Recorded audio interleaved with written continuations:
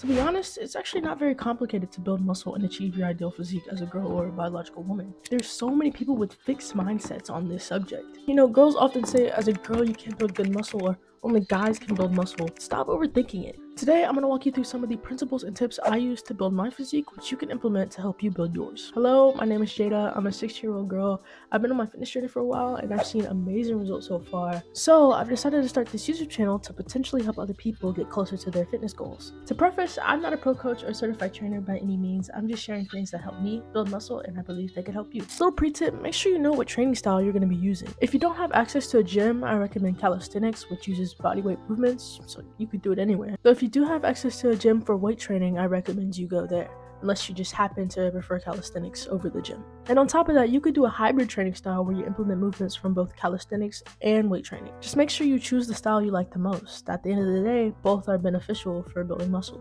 Number one, choose a workout split that works for you. Notice how I said you. You need to pick the split that's gonna best fit into your personal schedule. You don't wanna end up choosing one that you're not gonna be able to be consistent with. And there's also no such thing as the best split. It's not a one size fits all type of thing. I personally recommend training anywhere from three to six days per week so that you're not undertraining nor overtraining. Just make sure you're training a minimum of three days a week. Here are some splits I recommend for the amount of days you might have to train. If you have three days, I recommend doing a full body split where you're training Monday, Wednesday, and Friday and resting in between. For four days, I recommend the upper lower split. You could go upper lower, upper lower, or you could go upper lower rest, then upper lower, however you want to do it. For five days, I recommend push pull legs plus upper lower. So that's push, pull, legs, rest, then upper lower, or you could go push, pull, legs, upper, lower, then rest. Again, it's completely up to you. For six days, I recommend just a push, pull, leg split. That could be push, pull, legs, push, pull, legs, rest, or push, pull, legs, rest, push, pull, legs. Or you could do a push, pull, legs and Arnold split, which is push, pull, legs, rest, chest and back,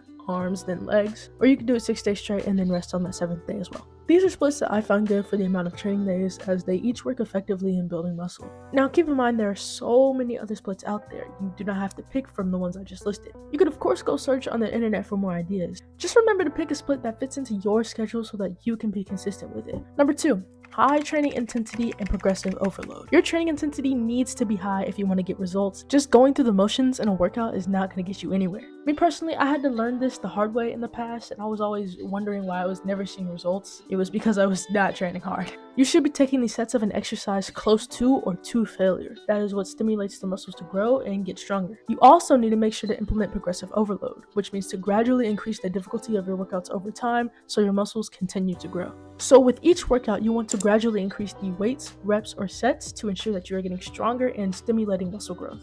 There are also other options for progressive overload, such as increasing time under tension, drop sets, etc., which I'll go more into in a future video. Just know you should never leave a workout thinking you could have done way more you're probably leaving a lot of gains on the table. Number three, getting adequate rest slash sleep. Rest is so important when it comes to maximizing muscle growth. Your body actually produces hormones crucial for muscle growth and repair while you're asleep. Also, getting enough rest helps prevent injury, fatigue, etc. So make sure to have at least one rest day per week for muscle recovery and keep rest days active. You could go for a walk, do cardio, stretch, anything to keep you active. I really cannot stress enough how important rest days are in maximizing muscle growth. Number four, high protein diet. Consuming enough protein in your diet is crucial for the growth of muscle. You can go and implement every principle I've stated so far, but you will not get results if your diet is not on point for muscle building. Getting a lot of protein in aids in muscle protein synthesis, which is how your muscles grow and get stronger. I personally recommend consuming about 0.8 to 1 gram of protein per pound of body weight to maximize muscle growth. That's just my recommendation. You'll hear many different variations of that number. So I recommend you go and experiment yourself and see how much protein benefits you. But the 0.8 to 1 gram of protein per pound of body weight is kind of the common ground. Now, this video is strictly for building muscle, and one of the best ways to do that in terms of diet is to be in a caloric surplus, aka a bulk.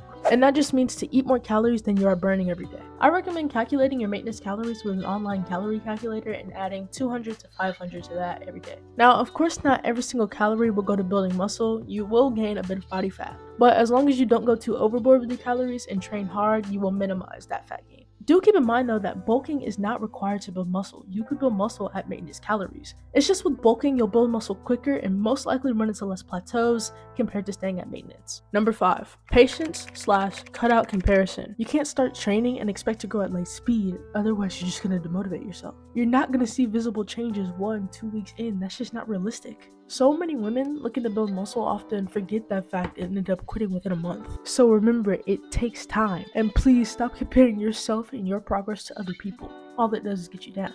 See, everybody is different. You're not like any other person in the world. You are your own individual with your own genetics. Some people have genetic advantages for muscle building, and some people have disadvantages. And to kind of stem off genetic disadvantages, as a biological female, yes, it takes more time to build muscle compared to males. As you may already know, they have way more testosterone than we do, which allows them to put on muscle quicker. And that's that. There's nothing we can do about that. So, also, please don't go comparing your progress to that of a male. Of course, it's going to be different. Hey, but do not let that take away from the fact that if you work hard, you will eventually see results. Time brings results, and I stand by that. That's also the channel acronym, by the way.